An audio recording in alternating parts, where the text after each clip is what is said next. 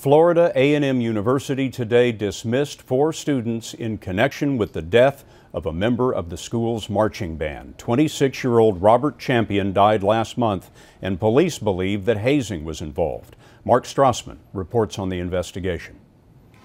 The Marching 100 is the face of Florida A&M, high-energy, precision performers who played at President Obama's inauguration.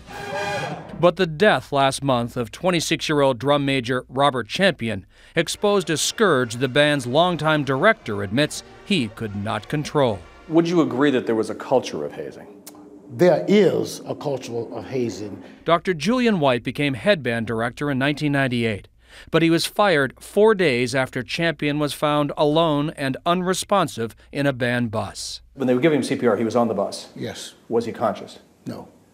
The cause of death is still under investigation, but police who interviewed band members believe hazing is to blame. So does White. He suspects Champion was beaten in a hazing ritual. For years, he says he tried to crack down on hazing with workshops and a zero tolerance policy.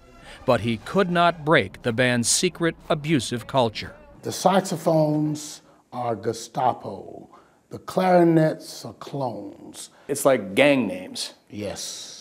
Were they like gangs to you that To you me- had to to, get under control? Yes, they were like gangs. Over the years, White estimates he threw out 100 band members for hazing.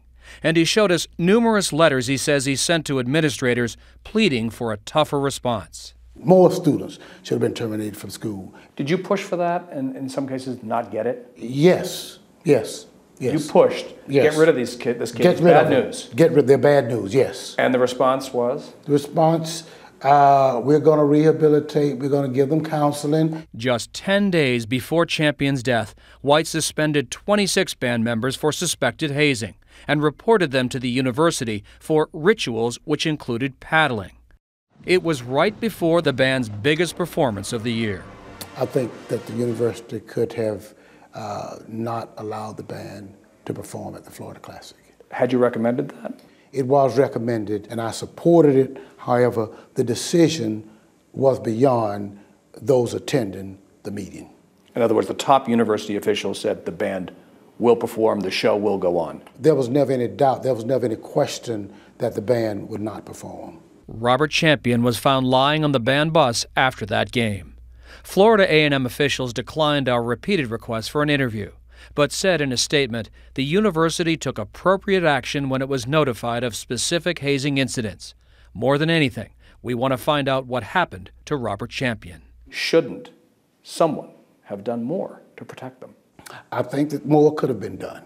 I think that, and, and I feel very comfortable that I did all I could. I'm not proud that I lost one of my children. Robert Champion was to become the band's head drum major next year. Mark Strassmann, CBS News, Atlanta.